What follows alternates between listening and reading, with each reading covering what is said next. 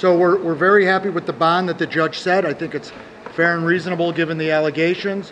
We hope that uh, Mr. Kelly's able to get the money together and post bond sometime today or over the weekend and he'll be released.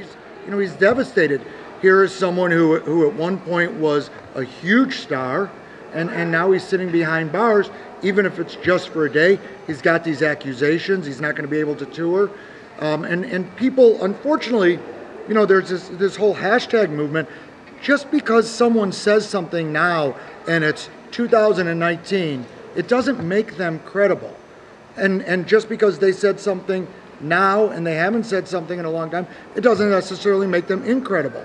We have to look at the evidence. We have to look at what happened. I know on, on one of the cases, there, there are a number of interviews where the young lady says, I lied about how old I was. I lied to him about how old I was, and then recently said, oh no, I lied about lying about how old he was.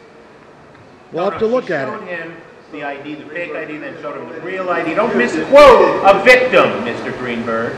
Don't misquote a victim. That's not what she said. Well- she initially lied to him, then she showed him a state ID. She was here today. Did you see her in tears while the charges were read? So, so you have a book coming out, and Yeah, I hope you sell. I hope you sell lots of books. I don't give a f- about selling a single book. I've talked to that woman, and I've talked to 47 What else is others. your question? I'm not Mr. Avenatti, and I'm not you.